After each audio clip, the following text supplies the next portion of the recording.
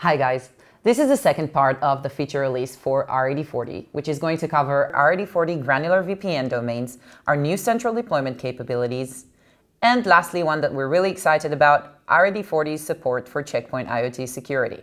Let's get started. Thanks, Danielle. We will start with granular VPNs. Until today, we define VPN domains per VPN gateway, which means the domain is shared across all peers in the community the VPN gateway is a part of. R80.40 allows you to override the VPN domain of a gateway for a specific community in order to keep the community secure and not expose the whole domain network for just one instance. I created a new community, added the supplier gateway, which is our specific instance in this example, and now I will override the gateway VPN domain in that community. That is extremely useful, Michael. Let's move on to the central deployment tool you mentioned earlier. Of course.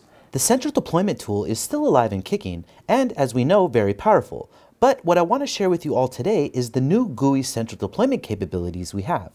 This allows us to install hotfixes and jumbos on security gateways and clusters. What I'm looking for is the hotfix I've been instructed to install for various gateways and clusters, and I want to do that in parallel.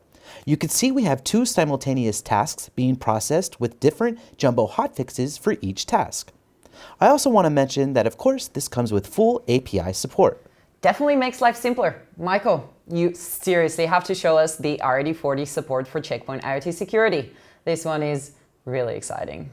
All right, Danielle, you asked for it, so here it is.